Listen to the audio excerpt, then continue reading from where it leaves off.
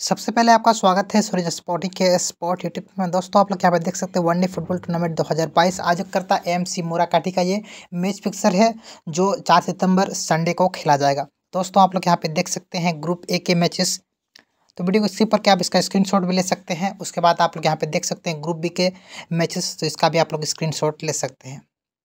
तो नोट में यहाँ पे नियम दिया हुआ है, आप ये ये भी देख सकते हैं। तो दोस्तों, ये तमाम जानकारी आपको कैसे लगी वीडियो के नीचे कमेंट करिए। साथ ही साथ वीडियो को वीडियो को लाइक कीजिए, चैनल सब्सक्राइब लीजिए मिलते हैं और एक वीडियो साथ तक लीजिए हिंद बंदे मातरम।